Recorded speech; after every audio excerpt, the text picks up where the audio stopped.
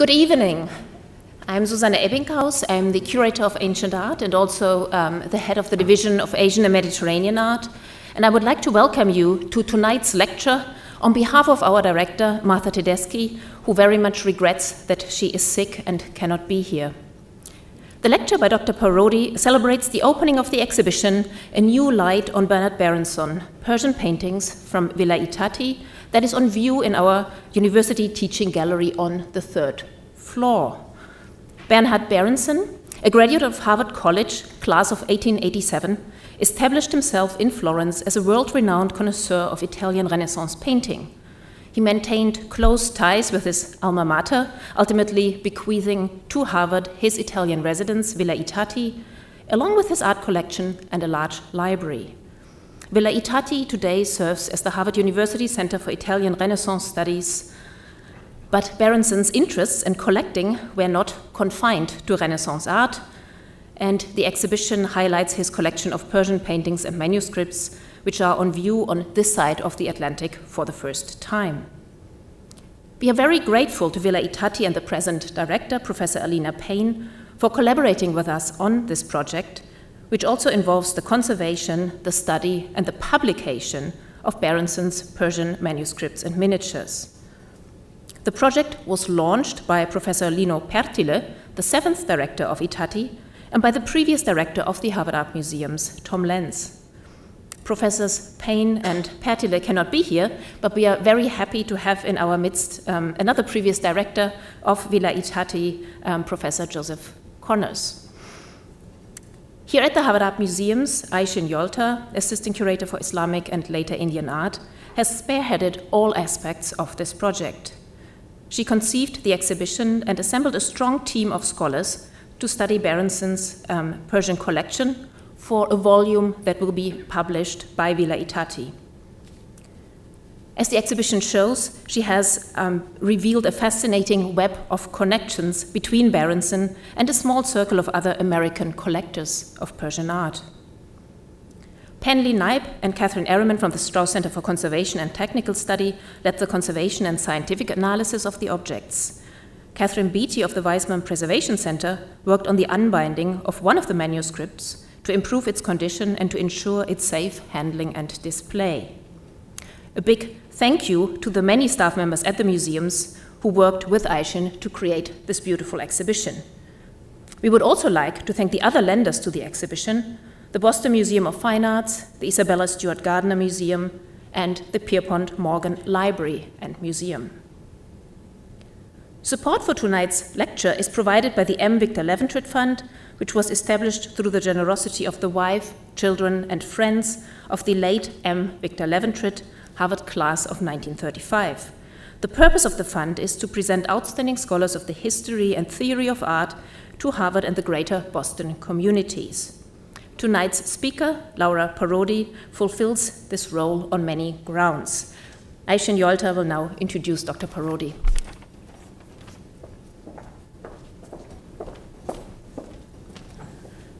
Thank you, Susanna, and thanks for uh, coming to uh, the lecture. And also, I invite everybody to go upstairs after the lecture to view the exhibition. Um, today's speaker, Laura Parodi, as uh, Susanna mentioned, uh, is one of the 14, 14 authors who are contributing to the book. And each of them is writing on a different aspect uh, of Berenson's Persian manuscripts and miniatures. I would like to thank all 14 of them here, um, but especially those who could, only a few of them unfortunately could make it tonight, but um, uh, Dr. Eleanor Sims, Professor Priscilla Soucek, and the museum's paper conservator, Penley Knipe. Um, all authors shared their studies with me, even when they were not finalized, and uh, the labels in the exhibition uh, very much reflect their new research. The exhibition upstairs, which I hope you had or will have a chance to see after the lecture, reflect Bernard Berenson's taste and eye when knowledge on Persian paintings was meager. It was mostly a visual appreciation of a different aesthetic by dealers and collectors. The fact that these paintings illustrated texts to be read was mostly irrelevant. In fact, many were removed from the manuscripts or albums and sold as single pages. Sometimes paintings were cut out from their surrounding texts. Over a hundred years have passed since, collect, uh, since Berenson uh, collected his Persian paintings. Our study for this project now includes specialists in art history, literature, conservation, even statistics, just to be able to expand our knowledge of these works of art. Our speaker tonight will give an in depth analysis of one object in Berenson's collection. I'm afraid you have to wait for the book to read the rest. Laura Parodi uh, is an independent scholar based in Genoa, Italy. Uh, she has taught courses and seminars at the University of Oxford, University College Dublin, and MIT here in Cambridge, and two Italian universities. She is the author of numerous essays on Mughal art and architecture. Her interests range from manuscript studies with a focus on albums to architecture, more specifically gardens. In 2010, she was a fellow in the Aga Khan program here at Harvard. Between 2013 and 2015, she directed one of the teams in a project supported by the European Science Foundation and produced a pioneering handbook of comparative Oriental manuscript studies published in Hamburg in 2015. Among her recent publications, targeted at a wider audience, is an article titled The Taj Mahal and the Garden Tradition of the Mughals published in the current issue of Orientations. It is my pleasure now to invite Dr. Parodi to give her lecture, Cracking the Code Glimpses into the Making of a Mughal Album Folio from the I Tatti Collection. Please welcome.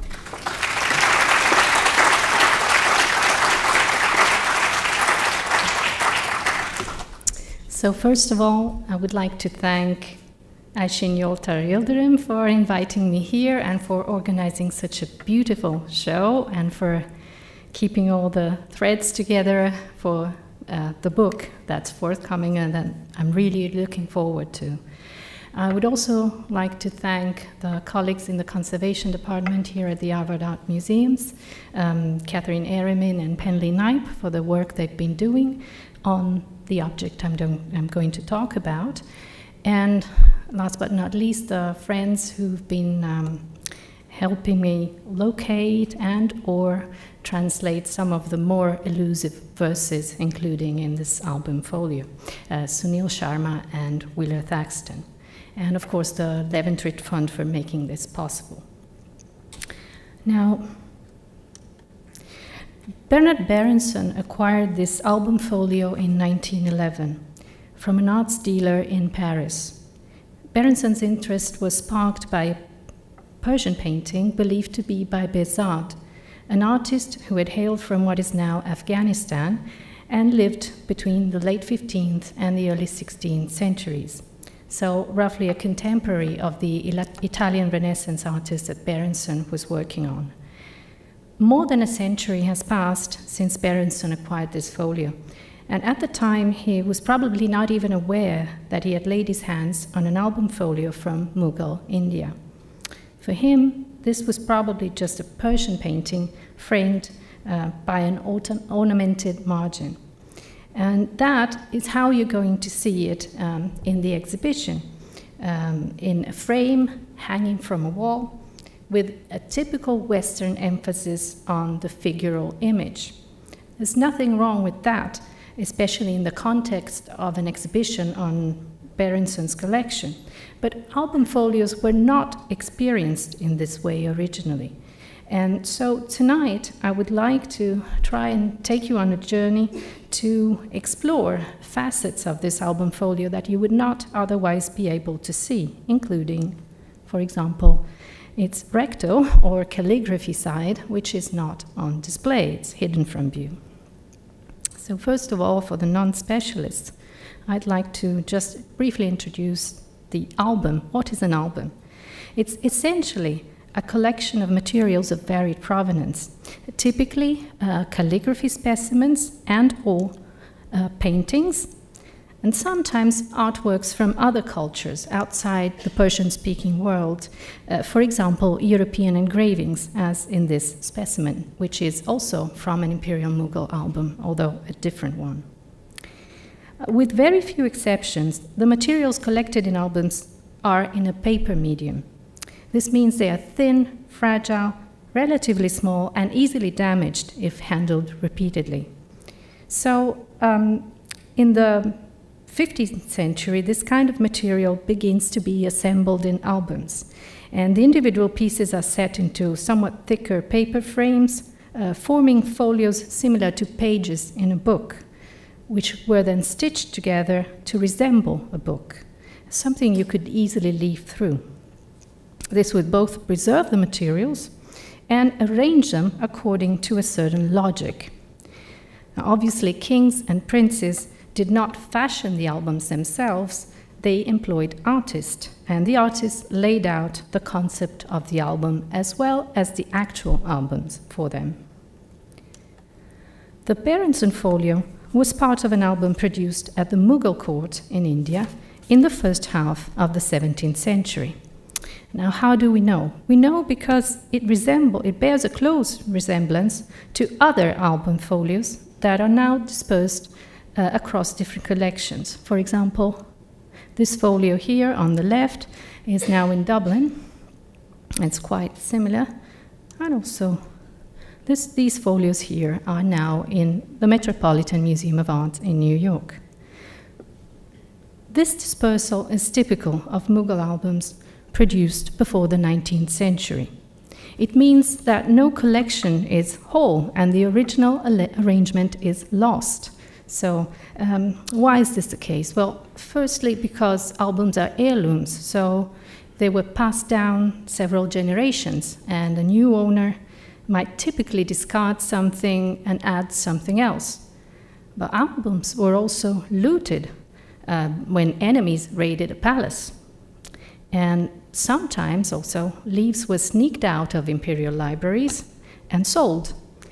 And finally, of course, the art dealers of the 19th and 20th centuries um, often took the albums apart to sell the folios separately, separately um, in order to maximize their profits. And so one or more of these circumstances may apply to a particular album, including the album we're currently looking at. So scholars strive to reconstruct the original sequences in which folios appeared in specific albums or to establish connections between the folios. Why is this relevant? Because beautiful as individual folios might be, albums followed a certain logic, as mentioned. And even though albums were not books, their logic was somewhat comparable to that of books. Um, a dispersed album page out of context tells a limited story, but a dispersed album page in context contains layer upon layer of stories waiting to be unraveled. And the first layer, of course, is in the painting itself. And I propose to look at its surface first and then somewhat deeper, and finally around it. As mentioned, Berenson thought this was a work by the um, Persian, in the Persian style, um, painted by the late 15th and early 16th century master Behzad, who lived in Herat, in what is now Afghanistan.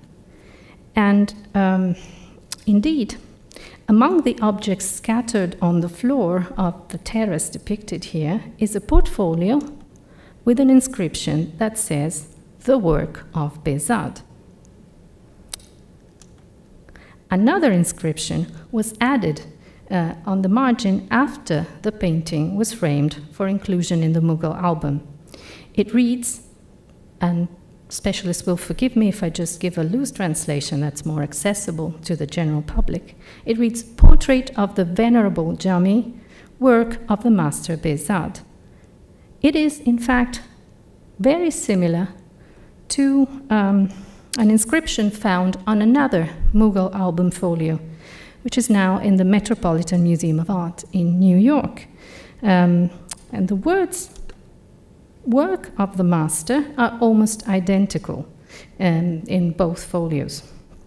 In the New York folio, they were attributed to Jahangir, the fourth Mughal emperor, who reigned in the early, six, in the early 17th century, from 1605 to 1627.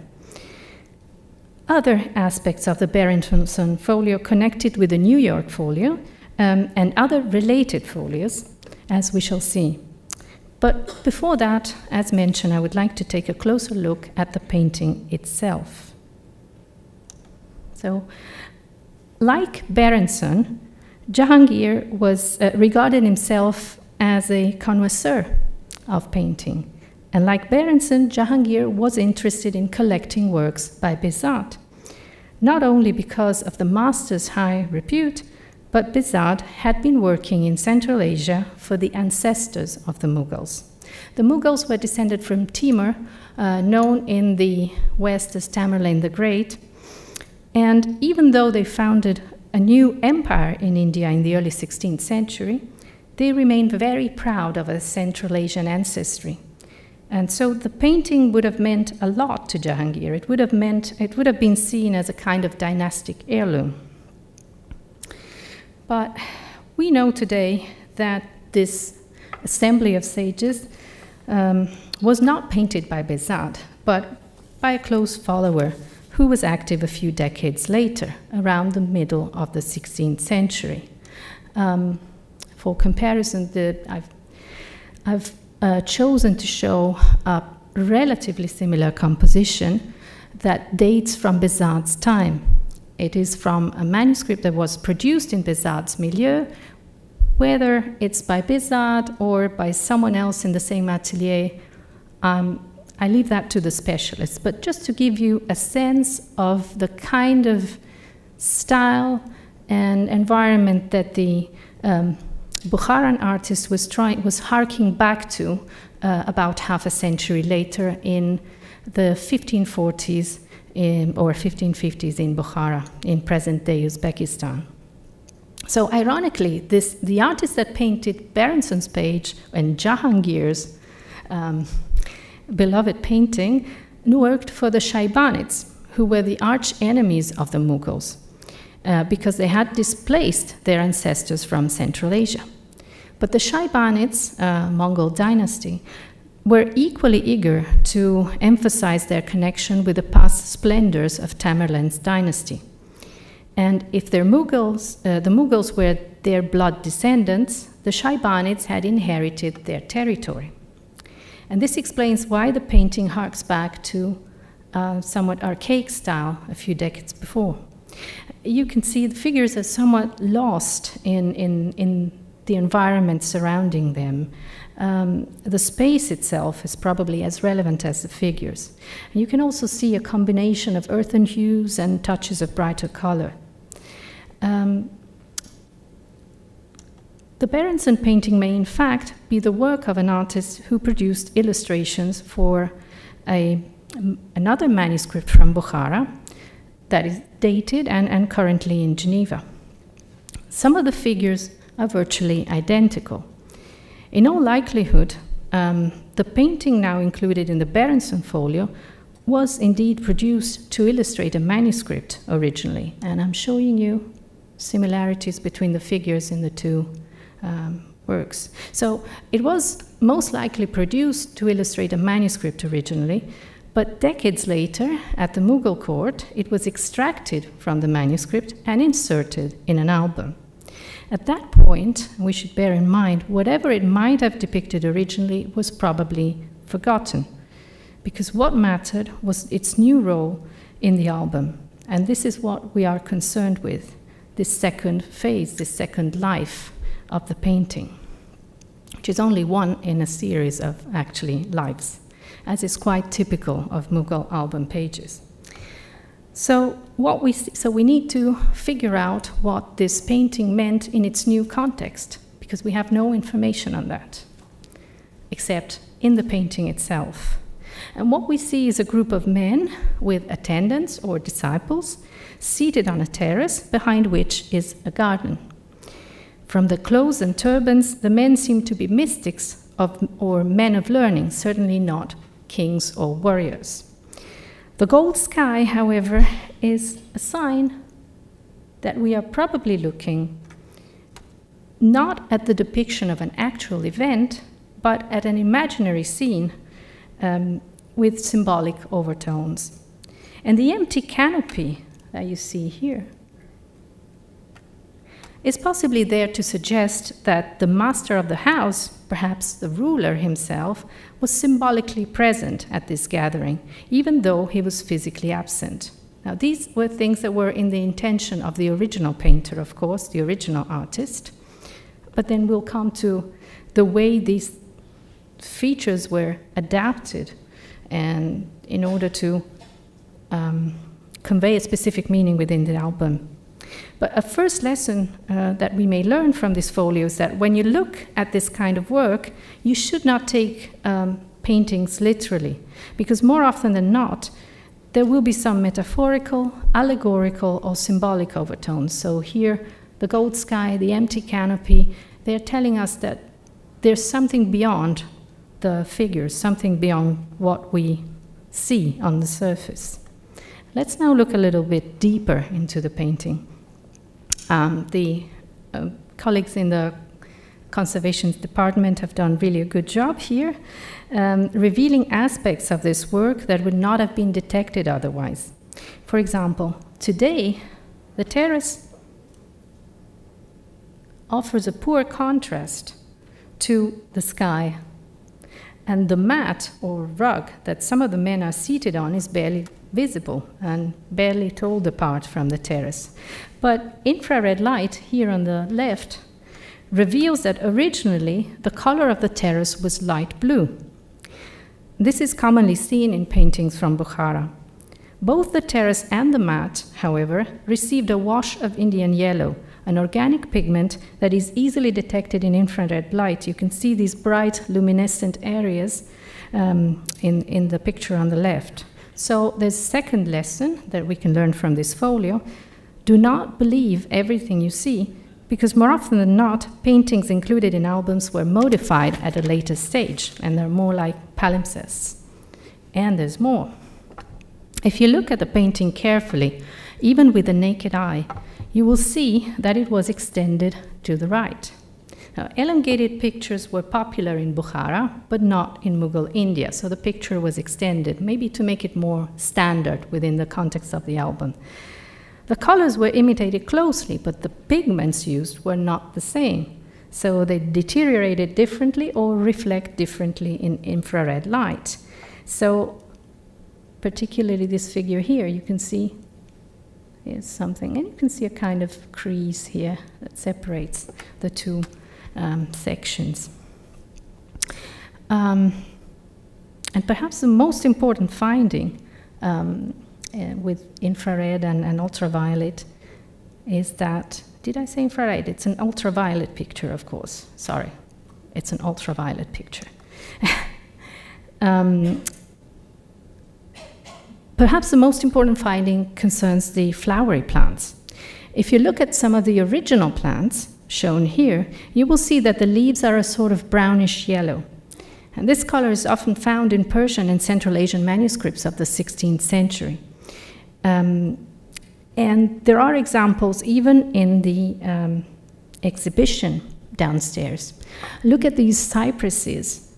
Um, it makes no sense to have brown or yellow cypresses because they are evergreens. So for a few years now, I've, I've been suspecting that something was going on, that this must have resulted from deterioration of probably an organic pigment. And now, fortunately, in this folio, we probably found the answer because the Indian artist who painted the extension, and this is a close up of the extension, uh, in the Berenson folio, copied the original plants as closely as possible but he used a different mixture. And his plants preserve the original details, allowing us to imagine what the original plants must have looked like. And as you can see, there are details such as veins added in blue, and the blue is indigo. At this stage, it was not possible to determine what caused the indigo to fade in the original painting, possibly some binding agent. And you can make out some of the faded veins perhaps here but the overall impression is just yellow. So thanks to the Mughal extension, we've learned something that teaches us um, and, or guides us in the interpretation of, of, a much broader range of, of Persian paintings. And a third lesson to be learned here is that more often than not, the paintings collected in albums are palimpsests with layers and sometimes entire sections that are later additions. Let's now move from the painting itself to the area around it. And let's try and imagine the team that was in charge of compiling the album. They probably discussed some guidelines with their patron before the project started, and then regularly submitted their work to him for approval. Um, images were framed, as you can see, in ornamented margins, and this one is slightly faded. It was probably a darker hue of, of pink originally, so that the gold ornamentation would have stood out. Um, but images were also very often associated with poetry. And the verses in this case were selected on the basis of, well, in, typically, were selected on the basis of some association with the image. It could be a pun, a kind of commentary, um, and work in this uh, respect is only just beginning. We're just beginning to explore these connections. Um, the more intricate the interplay between the text and the image, probably the better in the eyes of the patrons. Um, an important factor to consider is that these verses were literary quotes, so they often bore no connection with the image originally. There must have been someone in the team of compilers who was well versed in poetry and who was in charge of fishing out appropriate verses to go with different images. Now, in this case, the verses are extracted from two different sources. The text above and below um, the image is a fragment from a poem in the Masnavi verse written by Alishir Navoi, who was a leading intellectual, a patron of the arts, and a politician in the time of Behzad. The verses are in Chagatai Turkish, uh, the ancestral language of the Mughals. They are poorly preserved and they have not been identified so far. But these other verses, which run all around the image and below the frame, um, are from a poem by Jami, the same Mullah Jami that Emperor Jahangir's inscription identifies as the subject of the painting. Jami was also a contemporary of Behzad. He was a mystic, an intellectual, and a poet in the circle of Navoi. So the verses are in Persian, and they are from a ghazal, which may be compared to the English sonnet. And this is the translation.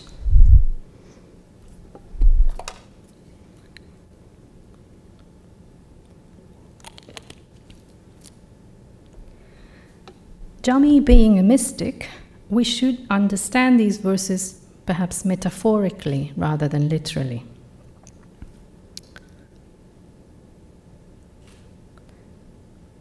In any case, the garden is there. Um, the garden setting is there, and not only that, but the name of the poet is explicitly mentioned at on, on the right side of the frame. Um, interestingly, although the verses by Navoi has, have not been identified or translated, um, his name also appears at top left. So probably the compilers of the album wanted to suggest that Jami and Navoi were the two main figures in this uh, assembly of sages, and they're clearly engaged in some kind of conversation. And the conversation is possibly what we see in the verses.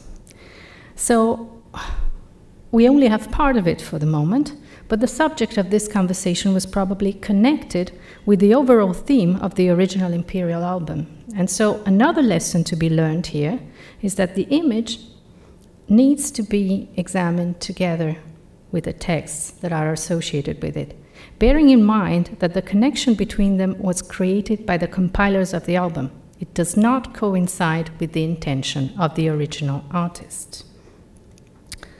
Let's now broaden our perspective and explore the folio in connection with the album. I previously suggested a connection with a folio in New York, um, folio with a hornbill. And in fact, the Berenson folio is compatible in size, style, and ornamentation with the whole corpus of album folios that are now dispersed across various collections. They are known by different names today, and for the specialists, these are the Minto, Wantage, and Kevorkian albums divided between the Victoria and Albert Museum in London, the Chester Beatty Library in Dublin, the Metropolitan Museum of Art in New York, and the Freer Gallery of Art in Washington, D.C. And a few folios are scattered in private collections as well. And to the best of my knowledge, this folio has never been connected with the corpus before. So it's the first time, to the best of my knowledge, that we're attempting to explore this connection. So these um, different um, these, these, these fol uh, album folios that are now scattered across different connections, uh, collections uh, are thought to originate in just one imperial album project, although the album itself probably consisted um, of more than one volume. The album was produced for the Mughal Emperor Jahangir, whom we've already met and established a connection with, and for his son and successor Shah Jahan who reigned from 1628 to 1658. It's one of just few albums produced for the imperial Mughal court, and none of them survives intact. This particular album probably remained in the Imperial Mughal Library until quite late. At some point in the early to mid 19th century, the album, um, one or more of its volumes, were torn apart, and some of the folios were duplicated, copies were made. And then the original folios and the copies were mixed and matched and fashioned into new albums that made their way to Britain, where they began to surface towards the end of the 19th century. And that's when they were acquired by uh, major museums um, in the early 20th century uh, from, from private collectors. And the Berenson folio, even though it was purchased in Paris, also came from Britain originally. We know this from Ayşin Yoltar's research. So, materials from this imperial album comprise scientific studies of animals, Jahangir was very fond of these. This is, after all, the 17th century, so there's a scientific interest, an interest in the exploration of nature. It's the early modern era. Um, I find the word medieval associated with Muslim patrons just too often. The Mughals are part of the early modern era. They are modern in so many respects. So, scientific studies of animals, you've already seen three of them, and you're going to see a couple more portraits of the emperors and their officers. So this is Jahangir himself. Allegorical figures, such as this mystic saint whom Jahangir could never have met, and yet both are depicted here, and a number of calligraphy specimens. Now, interestingly, the vast majority of the calligraphy, of the calligraphy specimens in this album is arranged diagonally, and we'll see that this is a significant feature. Now, the recto of the Berenson folio, which you won't be able to see in the exhibition, but I'm showing it here on the right, so I suggest you take a good look, also features calligraphy. But it is one of just very few folios in which the calligraphy is arranged not diagonally, but along horizontal and vertical lines. It is also one of the few folios that deviate from the predominantly floral ornamentation that is found in most margins from this album. And actually, the pattern on, on this margin is, is unique in the whole corpus. 30 years ago, in this book, an attempt was made to reconstruct, at least conjecturally, the original sequence of folios in the original imperial album that these folios come from. The authors of this book based their reconstruction on two criteria. One is the alternate use of calligraphy and painting, which seems to be consistent in this particular album. So, one opening with calligraphy, you must imagine opening the album and leafing through it from right to left, the direction in which the Persian is, is, is written. So, one opening with calligraphy, then followed by one with paintings, another opening with calligraphy, another one with paintings, and so forth. This seems to be, based on what we've got, the logic of this album. And in fact, the I Tatti, the Berenson page also has a painting on one side and calligraphy on the other. So the, this is, was, was the first criterion. The second uh, guideline that was used in this reconstruction, attempted 30 years ago, was the presence of tiny numbers written in gold in Persian numerals, um, just on one side of the paintings from this album.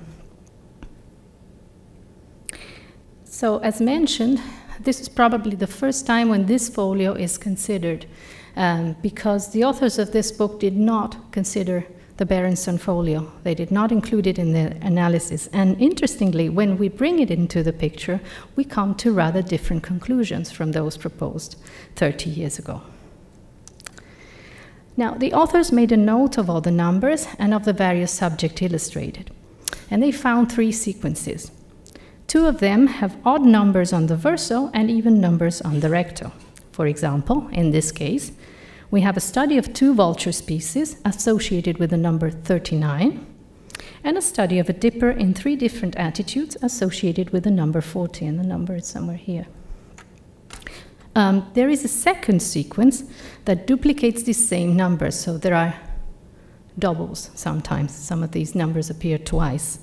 Um, but there is also a third sequence in which the numbers are reversed. So you have the um, even numbers on the verso and odd numbers on the recto. So the reconstruction proposed nearly 30 years ago identified three incomplete sequences which may correspond to three volumes. The Berenson folio contains the number 15. It, you can actually see it here although you can't read it, it's here near the painting. Um, following the logic, the same logic, we should expect it to have faced a painting associated with the number 16. And there are two such uh, folios. One depicts a sheep. It's in the Chester Beatty Library in Dublin. Um, but this is a more likely match for another folio in which a zebra appears. The zebra, like the Berenson folio, is associated with the number 15. The other painting associated with the number 16 is a work by a female artist, Nini, after a European engraving by the Wierix brothers depicting the martyrdom of Saint Cecilia. And certainly, these may have some points have been combined together as is testified by the number. So at some point, probably these two folios faced each other. Uh, remember, the Berenson folio um, is missing part of the lower margin, so the proportions are not um, accurate. But the calligraphy on the recto of the Berenson folio, the side that no one has ever really looked at, has a different story to tell. And it's one that challenges this entire reconstruction based on numbers. Whereas Berenson and ourselves, as Westerners, may be more inclined, or as art historians, may be more inclined to give priority to the figural images, it is practically certain that the patrons of albums valued the calligraphy more. The specimens were carefully selected, valued for their textual content as well as the authorship of the calligraphy. There were, they were works by famous artists, no less than the paintings and probably more than the paintings in their own time. The Berenson folio, pictured here, features a portion extracted again from a ghazal, a sonnet. But this time it's by the famous poet Hafiz, one of the greatest poets, uh, the greatest Persian poets of all times. It is a famous poem. Um, and then verses from a 15th century poet, um, Shahi of Sabzawar, are inserted vertically in separate frames.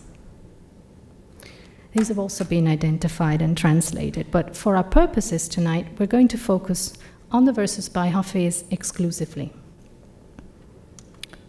And this is a translation, and the section in green is the portion found in the Berenson folio.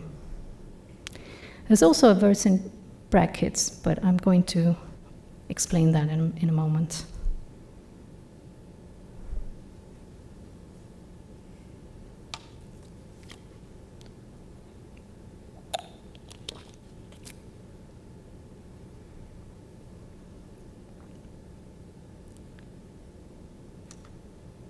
Two other folios from our imperial album, now dispersed, closely resemble the Berenson folio. One is in the Metropolitan of, uh, Museum of Art in New York, and surprise, surprise, it includes the beginning of the same poem, alongside more verses by Shahi.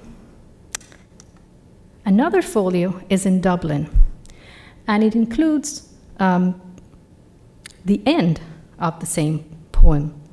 Um, minus one verse, probably for reasons of symmetry, so that there was an equal number of verses on each folio. So, in other words, we have two and a half verses in New York, two and a half more in the Berenson folio, then possibly a gap, which we may assume corresponds to a missing folio, and finally the last verses minus one. The Dublin folio also includes a signature which attributes the calligraphy uh, to Mir Ali of Herat in present day Afghanistan, who was, you may have guessed, a contemporary of Behzad. So I'm not sure whether the attribution is reliable or spurious because the paper looks different and some of the letters are traced differently. Of course, I'm not a calligraphy expert, but that's my impression. But that is not our main concern now. The real question is so the poem begins, continues, then a gap, and then it ends here. And the real question is if we follow the logic based on numbers, the four folios, which contain two halves of the same poem, each opening would contain half of it, would end up at different locations, or even in different volumes, because the numbers don't match. And this makes no sense at all. Because Jahangir, who was so fond of Hafez that he opened his collection of poems uh, at random to seek omens for the day, would want to read the poem in a continuous manner, although certainly knew it, very probably knew it by heart. So we need to revise the sequences proposed almost 30 years ago, I think, which must reflect a later rearrangement and we need to suggest a different sequence. And we could begin from our folios with a sequence that might provisionally look like this. The dipper, which we previously saw, is painted on, on the recto side of the New York folio where the ghazal begins, where the sonnet begins. So it may have faced the vultures. There's no reason for the moment to discount this association, they look fine together. And then turning the page, we'd find the first half of the poem by Hafez. Then the Assembly of Sages, a missing folio, missing picture. And then the second half of the poem. And finally, a portrait of Jahangir himself, which may have faced this picture of a saint offering him the keys to the world. The name Jahangir means world seizer, and several portraits and allegorical pictures um, painted during his reign reflect this connection. And don't be deceived by the physiognomic accuracy of these portraits, because this is an allegory replete with literary references, and it's been studied before. So these two images have long we thought to belong together, but because the numbers didn't match, it was thought they had been divided in the album. And now the, the issue is completely reopened. We, we should start anew, or at least that's what I propose to do. So, coming to a close. So, this is a, an additional lesson to be learned from the Berenson folio that we should probably look more closely at the texts, both those, I would argue, in the calligraphy panels and those inscribed inside and around the pictures. Um, this would really help um, to reconstruct the original album sequences and to begin to understand the logic of the albums more. I'm probably saying something obvious, but it's something we've only begun to realize over the past two or three decades, really, through the work of, of, of several colleagues. Um, but this could be expanded into a more ambitious project, perhaps. That's my hope, at least. Um, the connection between Hafiz, Jami, and the portrait of Jahangir in this case may not be readily apparent to us today, but on the basis of the emperor's mystical inclinations, uh, which are well known, we may see this text perhaps as a kind of admonishment, emphasizing the need to shun the material world and pursue higher aims, and all of this as a prelude to the depiction, depiction of Jahangir's investiture, as it were, at the hands of a saint. And this is material for another talk, of course, or for an entirely new project. But I hope that this brief introduction to Imperial Mughal albums, through a kind of keyhole provided by a single folio, gave you a sense of the beauty and complexity of Mughal albums and the challenges we face as art historians, because even a single folio um, emerges as a collective work of art with numerous contributors so many layers, so many patrons, because as we have seen, there is more than one face, and probably more than two, and a rich history to tell. And the final lesson, perhaps, is the most obvious is that when we look at visual artifacts, we should always be willing to expand the gaze beyond the surface of things. Thank you.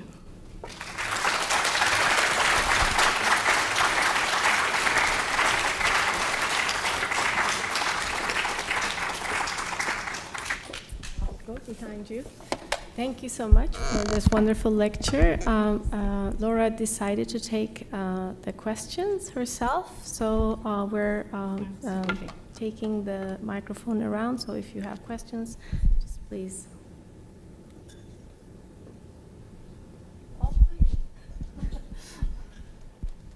Oh, so boring that it doesn't deserve.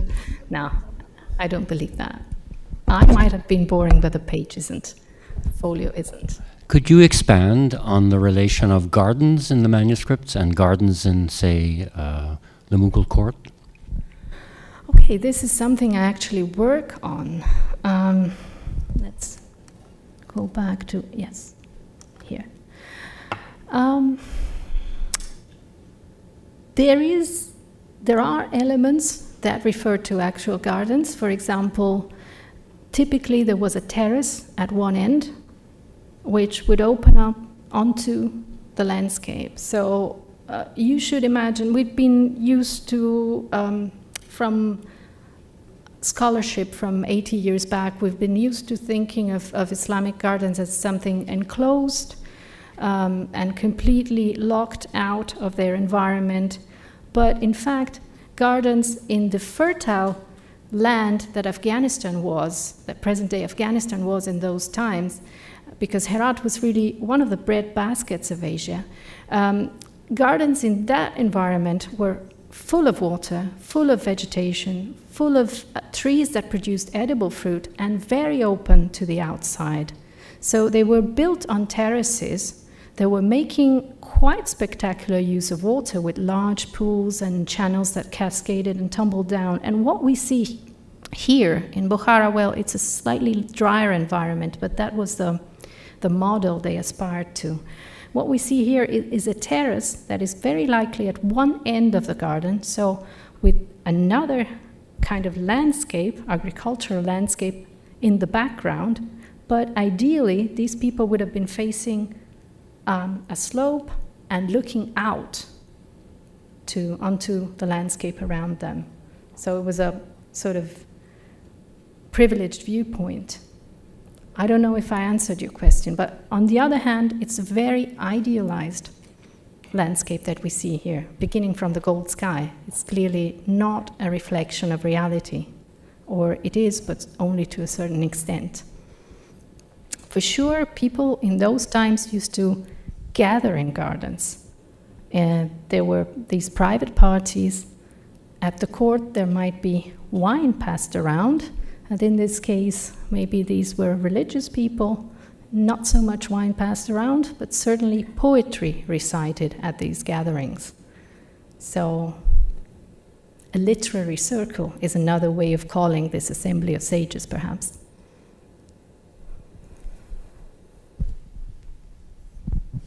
Thank you for your uh, excellent talk. I wanted to ask about the phenomenon you point out where a single poem is continued um, despite kind of being interrupted by openings of, um, of painted images.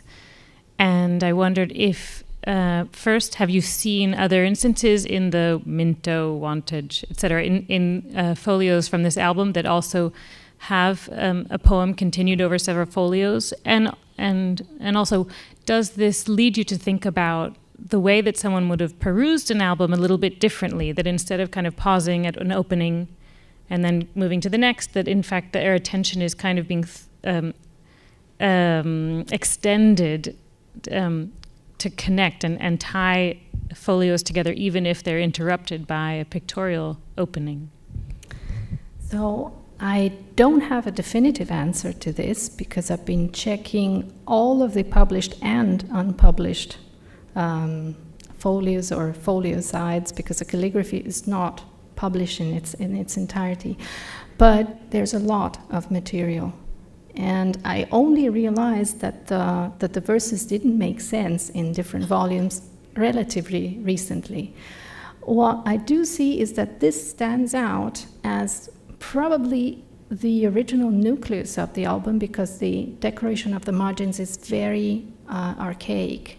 It doesn't have these flowery plants. There, there are some studies by Sue Stronge on, on the way this reflects textiles or the ornamentation in architecture. Um, and it may be, we're not sure, but it, because of this pervasive nostalgia of Herat that you see in the calligraphy, in the poem, in the painting, and then boom, Jahangir as a highlight after, if this sequence is correct at all. But I, I really don't think that it makes any sense to split this poem, you know. Um, it could be the incipit of the album, setting the tone, as it were, in Jahangir's time.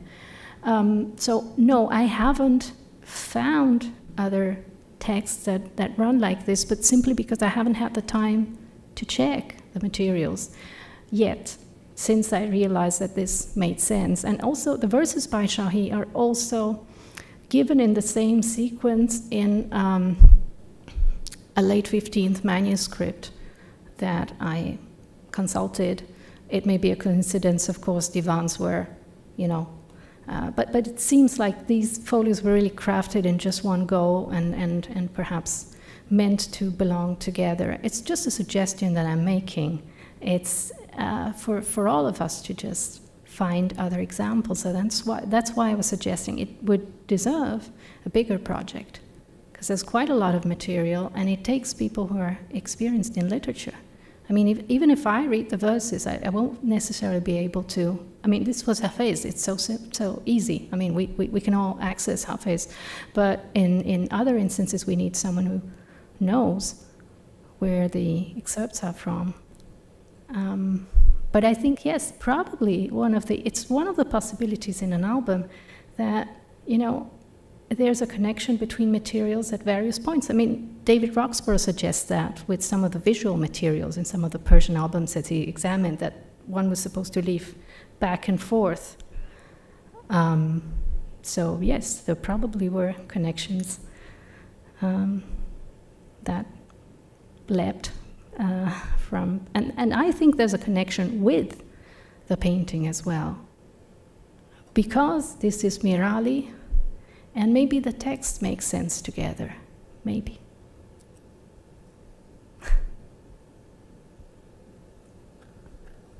or it isn't Mir Ali, but Jahangir thought it was, or his artist wanted him to think that it was.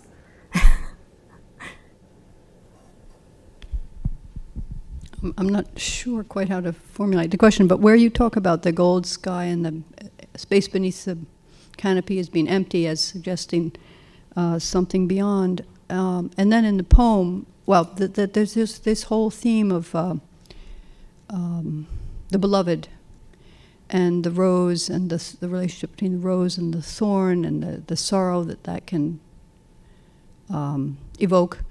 Um, I'm wondering, this, I mean, this perhaps goes beyond these works that you're talking about to a, a larger question, but um, you can choose in your response to go to the larger context or, or these.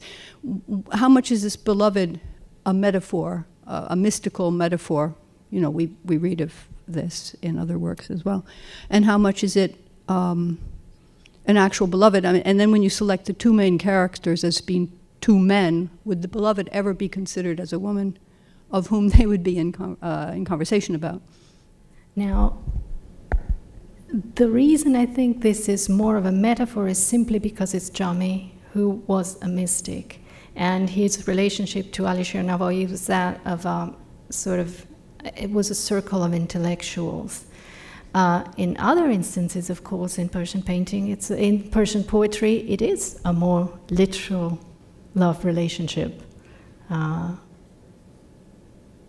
man to man relationship, of course. But here, and because of the context that it's taken from, Jahangir was a lot more interested in the mystical side. And so were the artists in Bukhara when they illustrated Jami. I mean, he really is an, an epitome of, of, of mystical poetry. Is, is there a, uh, are there variations in the, in the original of how the word beloved would be uh, written and expressed depending on its literal or less literal meaning? I'm, I'm not an expert. We have some experts here, I think, but I don't know if they want to address the issue. Hmm? I'm certainly not equipped to say how the word beloved changes or is used, or uh, I don't know. I'm sorry. We may pursue the conversation later.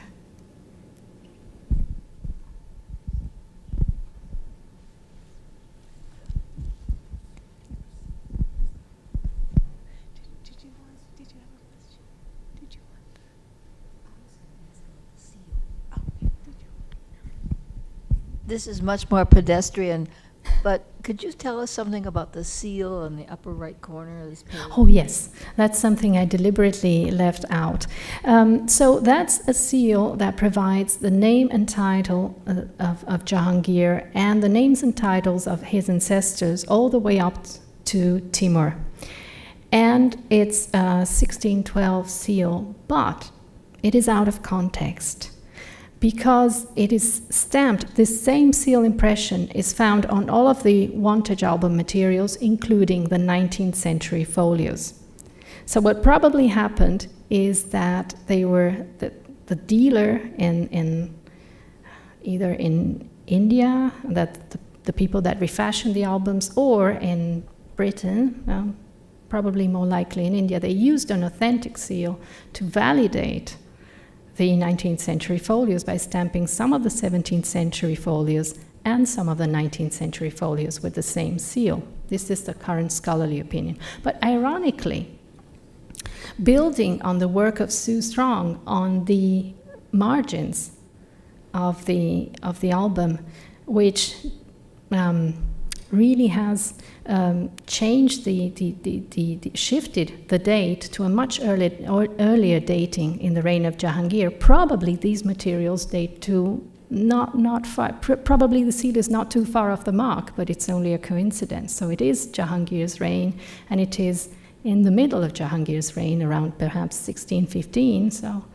thereabouts, but it's only a coincidence. And that's why I didn't discuss the seal, because I thought there was but thanks for bringing up the issue, of course. And of course, it's too big a seal for, for being a sort of um, library seal or, or, or owner seal. It's more of an official. Hmm? Exactly, exactly. It's out of context. Um,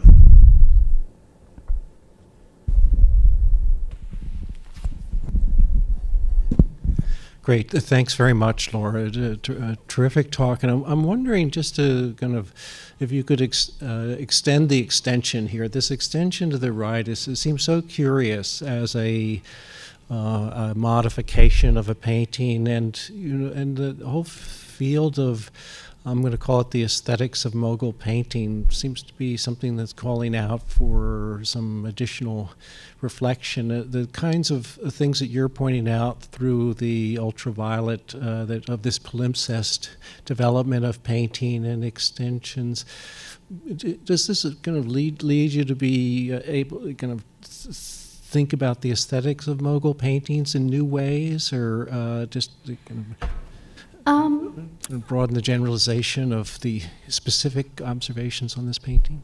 I think the compilers. I, am not sure. Uh, this this is. Uh, I'm not sure I fully understood your question, but um, I think the, the compilers of the album, uh, the of the Imperial Mughal albums, were quite careful in their choice of format. They tried to match the format between um, overall between pages or between facing pages. Um, they couldn't always do that, but they tried to do that. And some of these pictures from Bukhara are really sort of have a vertical emphasis that's quite common in Bukhara, but it's not used at the Mughal court. So that would be the logical explanation here. Plus, um, I've come across other um, Mughal album folios where you see these extensions, even on Mughal album materials, or earlier Mughal album materials. And there's a page that I published online. You can find it um, on asianart.com online. I published it a few years ago in collaboration with the um, conservators and scientists at the Los Angeles um, County Museum of Art. And there, an older Mughal album folio was incorporated completely and the margins were painted over, and an extension of the scene was painted over the margins. So you see a hunter with attendants, and the attendants were added, covering up an earlier margin. And you, you would wonder, wouldn't have wouldn't it have been easier to just remove the old margins? But no, they kept them, and probably because they were heirlooms. They were sort of they were part of the object itself, but they refashioned them, and they had no no problem at all um, painting over the margins and extending the picture. And they wanted to extend the picture because that's a bigger album than this, and the picture was really too small. But they wanted to collect it, probably. It meant something for them. So that's, that's what we explored a few years ago in Los Angeles. So, yeah, I don't know if I answered your, your question, but yes, it, it, we see this, and there's, it's not a, a strange thing. Uh, there's someone else.